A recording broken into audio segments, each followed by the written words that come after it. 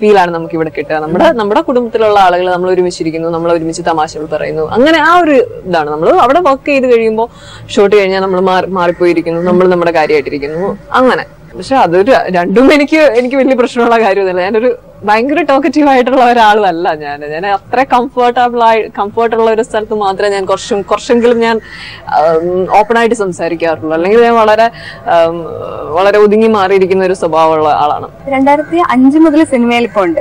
സിനിമയിലെ സൗഹൃദങ്ങളൊക്കെ എങ്ങനെയാണ്? എല്ലാവരുമായിട്ടും സൗഹൃദമുണ്ട്. ഞാൻ വർക്ക് ചെയ്ത എനിക്ക് അറിയാവുന്ന എല്ലാവരുമായിട്ടും സൗഹൃദമുണ്ട്. അത് ഭയങ്കര ഒരു ഫ്രണ്ട്ഷിപ്പ് ആണോ എന്ന് ചോദിച്ചാൽ അല്ലായിരിക്കാം.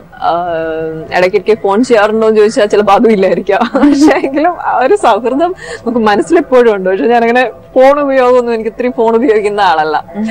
വളരെ കുറവാണ്. ഏറ്റവും അടുത്ത ആളുകളൊക്കെ ആയിട്ട് സംസാരിക്കുക. അത് അവരിങ്ങോട്ട് വിളിച്ചാലും സംസാരിക്കാറില്ല അങ്ങോട്ട് വിളിച്ചാലും വിളിക്കുന്നതും വലിയ താല്പര്യമുള്ള ആളല്ല. അപ്പൊ അത് അങ്ങനെ ഒരു വലിയൊരു ഫ്രണ്ട്ഷിപ്പ് ഇല്ല ആരുമായിട്ടും. അപ്പൊ അങ്ങനെ മതിയോ? ആക്ച്വലി അങ്ങനെ ഈ ഒരു ഫീൽഡിൽ നിൽക്കുന്ന ആളാവുമ്പോ അതായത് ഈ ഒരു രീതി സിനിമ ഫീൽഡിലൊക്കെ നിൽക്കുന്ന ആളാവുമ്പോൾ തീർച്ചയായിട്ടും കോണ്ടാക്ട്സ് ഒക്കെ വെക്കണ്ടേ? വല്ലപ്പോഴും ഒക്കെ ഇപ്പൊ നമ്മൾ വർക്ക് ചെയ്യുന്നവരൊക്കെ വല്ലപ്പോഴും ഒക്കെ കോണ്ടാക്ട് ചെയ്യാറുണ്ട്. പക്ഷെ എനിക്ക് എനിക്ക് എനിക്കതാ എനിക്കറിയില്ല. എനിക്കതേ പറ്റുന്നുള്ളൂ. അതാണ് സത്യം. കാരണം നമ്മൾ ചില ഇതുപോലത്തെ ക്വസ്റ്റ്യൻസ് ഒക്കെ വന്നിട്ടുണ്ട്. കാരണം കുറച്ചും കൂടി ഫ്രണ്ട്ലി ആവണ്ടേ എല്ലാവരും. ഞാൻ ഫ്രണ്ട്ലി ആണ്. ഞാൻ എല്ലാവരുടെ അടുത്തും